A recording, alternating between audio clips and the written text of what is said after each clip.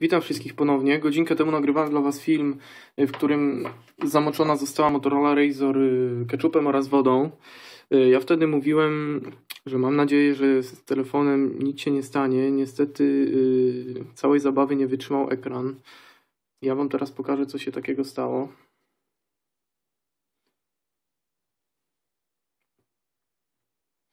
Jak widać, na całej powierzchni ekranu porobiły nam się takie kropeczki. Nie wiem, co się z tymi pikselami stało. Myślę, że gdzieś dostała się jednak do środka ciecz. Ja nie wiem nawet, którędy. Widać tych pikseli jest całkiem sporo. Mają różne kolory. Zielony, biały, czerwony, niebieski. Pokładały nam się nawet tutaj pasami.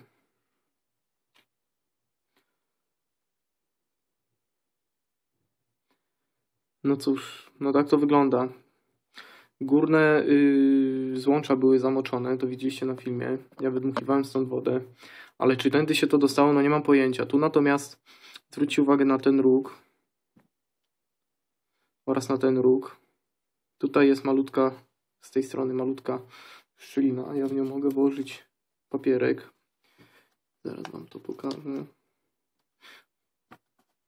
Może to tędy się dostało do środka. No nie mam pojęcia. No w każdym razie y, taki jest efekt naszej zabawy. No tak prostego testu mm, niestety telefonik nie wytrzymał. Szkoda, zobaczymy co powie na to organizator konkursu. Ja mu to pokażę.